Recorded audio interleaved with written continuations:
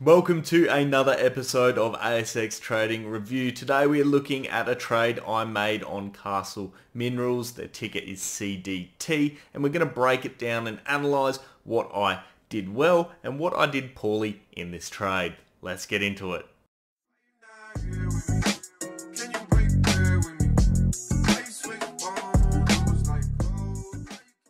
How's it going guys? Ryan here and welcome back to another episode of ASX Trading Review. As I mentioned, we're looking at Castle Minerals CDT. This is a trade that I made last week and for once, we're not looking at a positive trade. I want to share with you a trade where I actually lost money, but the overall outcome from it was positive in the long term if you're looking at the price action that occurred after the trade. And what happened was putting key rules in place in order to make important decisions to preserve capital and that's exactly what I did. So whilst I lost money on this trade, it was actually successful in the sense of I applied the rules that I always apply and was able to reduce the losses that I could have incurred. So without further ado, let's jump straight into the computer and get into it. As always guys, I like to show you that these are legitimate trades. So here is my buy confirmation of CDT on the 24th of the 3rd, 2022. I was trying to get in at 6.4 cents,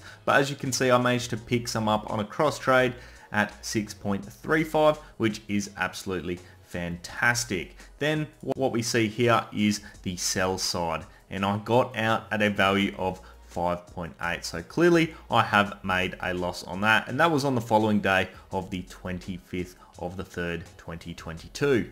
Welcome into the CDT chart guys. As you can see, I have left up the workings so you can see what my thought patterns were throughout this trade. Now, as you know, I entered at roughly about 6.4 cents. So that is this yellow line that you are seeing right here. And what I was seeing was immediately when I did buy on, I suppose over here on the 24th, I thought I had a nice little bit of a dip before potentially another run up to what I was expecting up here at about 7 cents. Unfortunately, that did not occur.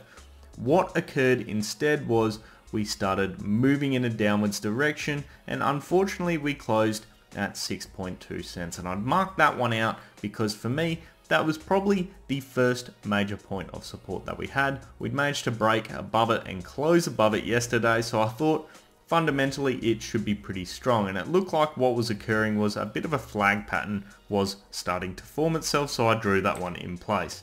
Now the following day unfortunately we continued to dip and basically I said to myself if we hit this 5.9 cent mark that is the next major point of support. So in my opinion, once it hits that, that is the last line of support and if it dips anywhere below it, I am out.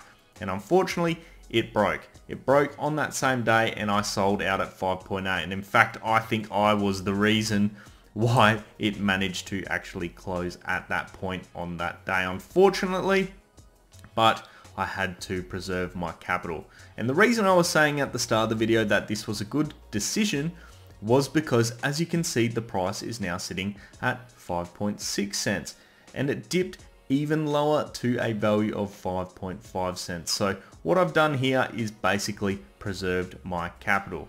Now I could have I suppose waited for a little bounce potentially off of course here the 20 day moving average that is currently sitting at 5.5 4 cents, but I have my positions. I need to preserve my capital. That is fundamental. So you've got to follow your rules of trading in order to be successful in the long term and minimizing your losses by taking them early is a great way of doing that and letting your winners run instead as we've seen on a few of the previous trades. So as you can see here, obviously I could have potentially had a little bit of a bounce back, maybe sold back at 5.9 cents but at this point in time, the price is still lower. So in my opinion, I have made the right move. Unfortunately, lost money on it, but made the right move in order to preserve my capital.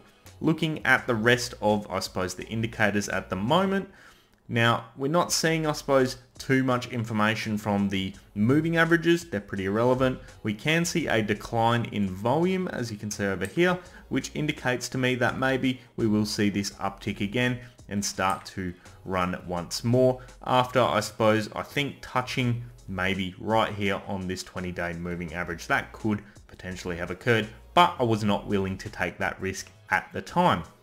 Let's look at a few more indicators. MACD.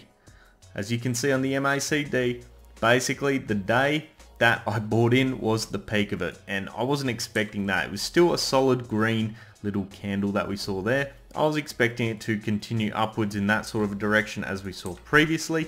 Unfortunately it didn't and you can see straight away the day after it started to drop. So once again started making a good move and you can see of course now we've got the 12 day EMA crossing below the 26 day EMA which is a bearish signal for the short term on this stock as well.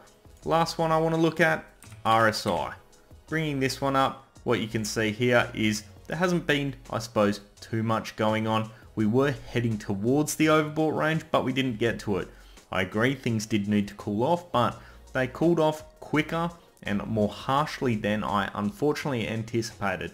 And to be quite honest, the drop that occurred caught me a bit off guard. I wasn't expecting a drop of that size to occur. I did expect to see, you know, this 6.2 cent mark tested multiple times in this flag pattern that I thought was forming. Unfortunately though, the flag pattern failed, the support failed, not once, but also twice, and it just meant that I had to unfortunately get out of this trade and preserve my capital. And that wraps up my trading review of my trade on CDT. I'd love to hear your thoughts on the trade down in the comments section below. Do you think that I did the right thing? What could I have done better? Were there some signals that I potentially missed that could have made me, I suppose, make more money or lose less money? Let me know down in the comments section below. Of course, if you did enjoy today's video as well, make sure you do leave a thumbs up. And if you want to see more of this sort of content, hit subscribe and turn on those bell notifications. I'll leave it there for today, guys. I hope you have an awesome day. I'll see you next time. Cheers.